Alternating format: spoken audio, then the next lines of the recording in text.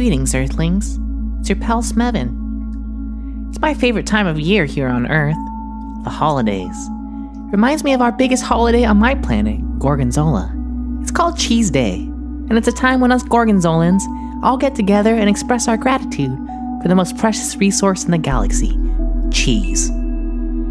So while I reflect on what I'm thankful for Munster, cheddar, mozzarella I invite you to join me and reflect on what you're thankful for. So find a comfortable place to sit and join me on this journey of gratitude. Are we all seated? Okay. Close your eyes, Earthlings, and let's start with a deep breath. In and out. As we breathe in through our noses, imagine you're breathing in all the wonderful smells of your earthly holidays grandma's fresh baked cookies, a succulent turkey, pine trees in the crisp winter air. I'll imagine the pungent aroma of a wheel of Limburger. Ready? Inhale. And exhale. Now, imagine something you're thankful for this season. Something in your life that brings you joy or comfort, that makes you feel good.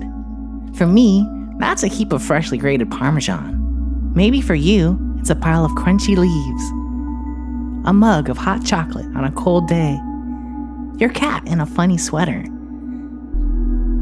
Even on difficult days, we can always think of something that we feel grateful for to help us feel a little better. My favorite part of Cheese Day is gathering around the fondue fountain with my family and friends to celebrate another year together on planet Gorgonzola.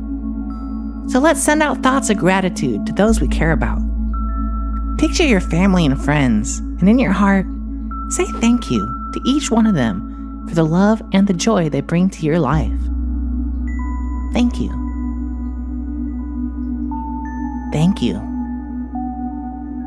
As we come to the end of our gratitude journey, take another deep breath in, filling your heart with warmth and thankfulness, and out.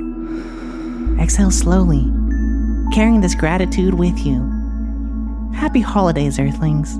I am grateful for you all.